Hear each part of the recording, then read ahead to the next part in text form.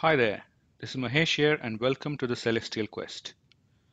In today's video, we will take a look at the North Indian Rashi chart in Vedic astrology. Rashi chart is also known as birth chart, natal chart, Lagna chart or Rashi Chakra. The North Indian chart is also known as Venus diamond chart and is based on Sayana Chakra, where signs or Rashis move but the houses are fixed. There are three variations of this chart in Vedic astrology, as I'm showing you on the screen. The one on the left hand side is called the North Indian chart. The one in the middle is called the South Indian chart. And the one on the right hand side is called the East Indian chart. They all represent the same information, but it is presented slightly differently.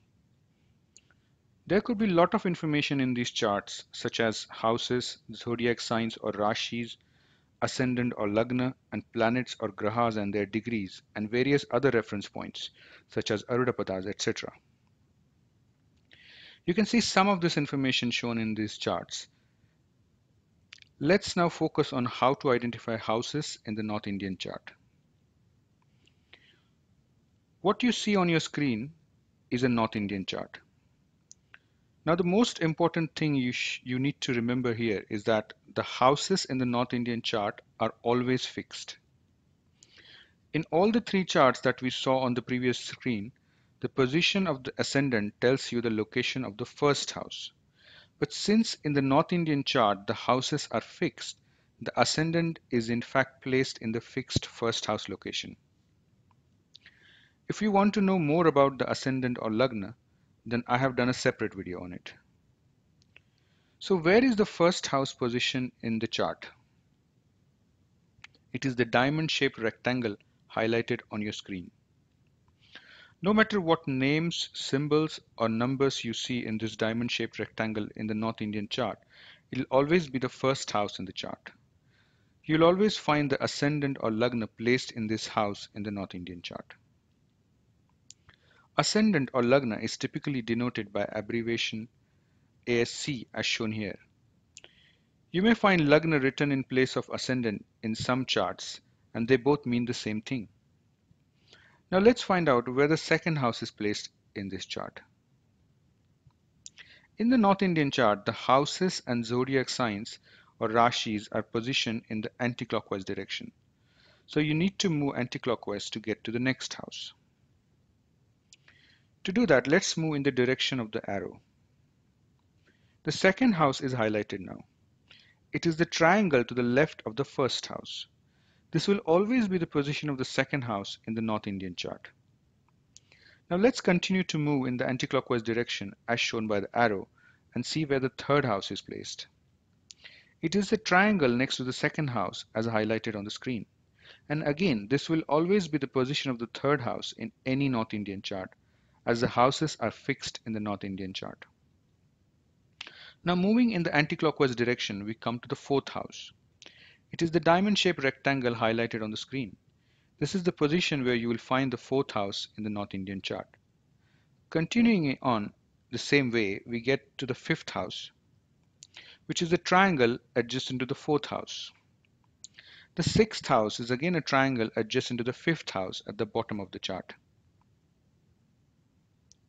Moving forward, the seventh house is the diamond-shaped rectangle highlighted in the chart. You will always find the seventh house in this position in the North Indian chart.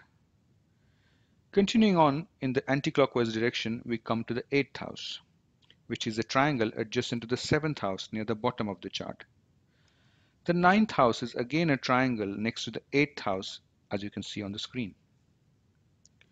So by now you would have got the idea about how the houses are placed in the North Indian chart. Can you guess where the 10th house will be? Yes, you're correct. It is the diamond-shaped rectangle highlighted in the chart. Moving on, we come to the 11th house, which is the triangle adjacent to the 10th house. And finally to the 12th house, which is the triangle adjacent to the 11th house. So these are the 12 houses in the North Indian chart and their positions are always fixed. The next thing you need to be aware of about the North Indian chart is that the positions of the zodiac signs or rashis are not fixed in the North Indian chart. Let's take a look. The North Indian chart that you see on the screen shows the placement of zodiac signs or rashis in the chart. As mentioned earlier, the zodiac signs or rashis are positioned in the North Indian chart in the anti-clockwise direction, as shown by the arrows. I am highlighting the first zodiac sign Aries or Mesha in the chart, which is shown here with the two-letter abbreviation AR. Aries sign could also be represented with the zodiac symbol for Aries or number 1 as shown here. Moving anti-clockwise, I'm now highlighting the next sign Taurus or Vrishabha shown by two-letter abbreviation TA next to the diamond-shaped rectangle containing Aries or Mesha. Taurus sign could also be represented with the zodiac symbol for Taurus or number 2 as shown here in the chart. Same goes for the remaining 10 zodiac signs or rashis. Now, as I mentioned earlier, the positions of the zodiac signs are not fixed in the North Indian chart. So how do we decide where to place them in the chart? Let's try to understand with the help of the chart on your screen. We'll find out how the zodiac signs have been positioned in the various houses in this chart. We know that the houses are fixed in the North Indian chart and the ascendant is always placed in the fixed first house. So we first place the zodiac sign of the ascendant in the fixed first house. We then place the other zodiac signs that follow the zodiac sign of the ascendant in the subsequent houses in the anti-clockwise direction as the houses and zodiac signs are positioned in the anti-clockwise direction in the North Indian chart. For example, in the chart on your screen, the zodiac sign of the ascendant or lagna is Cancer or Karka. In Vedic astrology, we also call this sign as the ascendant itself. So we can refer to the ascendant in this chart as Cancer ascendant or Karka lagna. Since ascendant is always placed in the first house, we place the zodiac sign Cancer in the first house, highlighted by words first in red color which is the diamond shaped rectangle where you, where you see ASC is written. As I've explained in my video about zodiac signs or rashis, the zodiac signs have a fixed order. So going by that, the zodiac sign that follows the Cancer or Karka is Leo or Simha. So the Leo or Simha is placed in the house that follows the first house, which is the second house, as marked by word second here. And the next sign Virgo or Kanya is in the third house and so on. Remember that in the zodiac eh, remember that in the North Indian chart the houses are fixed. So these houses will always be in these fixed positions in the North Indian chart. Going like this, we reach the 12th or last zodiac sign, Pisces or Meena, which ends up in the ninth house as shown here. Once we reach the 12th sign in the zodiac, we start from the first sign again, which is Aries or Mesha, and we place it in the 10th house as shown here. Continuing on, we reach the 12th sign from where we started. The 12th sign from the Cancer is Gemini or Mithuna, and it is placed in the 12th house in the chart as shown here. This is how the zodiac signs or rashis are placed in the North Indian chart, starting from the sign of the ascendant. Now suppose if the sign of the ascendant or lagna was Leo or Simha instead of Cancer or Karka, then the Leo would have been placed in the first house. And following the zodiac sign order, the 12th sign from the Leo, which is Cancer or Karka, would have ended up in the 12th house in the chart. I hope you are now clear that the zodiac signs are not fixed in the North Indian chart and how these are placed in the chart. Now people always have some confusion when they see numbers written in these houses in the chart. So let's see what these numbers stand for. The chart you're seeing on your screen is a North Indian chart for Lord Sri Ram.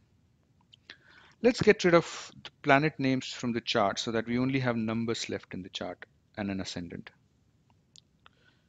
Where is the first house in the chart? Any guesses?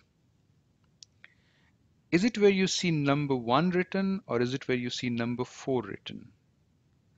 We have just learned that the house positions are always fixed in the North Indian chart, no matter what symbols, names or numbers you see in the chart. The first house is always the diamond-shaped rectangle in the top center of the chart and ascendant is placed here. Therefore, the first house in this chart is where you see number 4 written. I have highlighted it on the screen now. Where is the second house now? As we have already as we already know, going in the anticlockwise direction, the second house is a triangle next to the first house, where you see number 5 written. And in the same way, the third house is a triangle adjacent to the second house, where you see number 6 is written, and so on. So what are these numbers then? These numbers represent placement of 12 zodiac signs or rashis in the chart.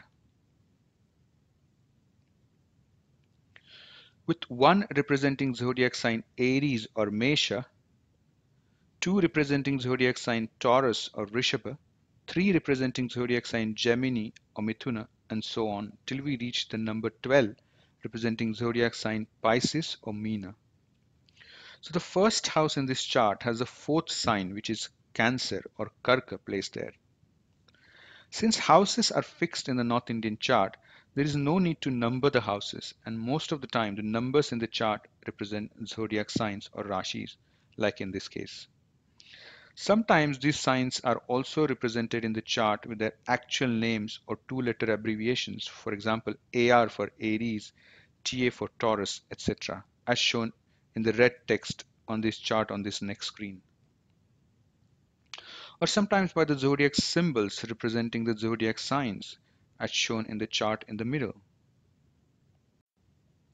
But if that is not the case and you see numbers 1 to 12 instead, as shown in this rightmost chart, then don't confuse these for houses, since house positions are always fixed in the North Indian chart. Finally, suppose you see number 1 is written where the first house is in the chart as shown here, and 2 is written in the second house as highlighted here, and 3 in the third house, and so on. And if the chart does not contain names, abbreviations, or symbols to represent zodiac signs, then you could be sure that these numbers represent nothing else but zodiac signs. And it is just the coincidence that first zodiac sign Aries or Mesha, which is represented by number 1, happens to be placed in the first house in the chart, and hence you see number 1 in the first house. Similarly, second zodiac sign Taurus or Rishabha, represented by 2, is placed in the second house, and third zodiac sign Gemini or Mithuna, represented by 3, is placed in the third house, and so on. I hope you are now clear on how to identify houses in the North Indian chart and won't get confused when you see numbers that do not match with the house positions. That's all from me for today. See you soon in my next video. Thanks for watching.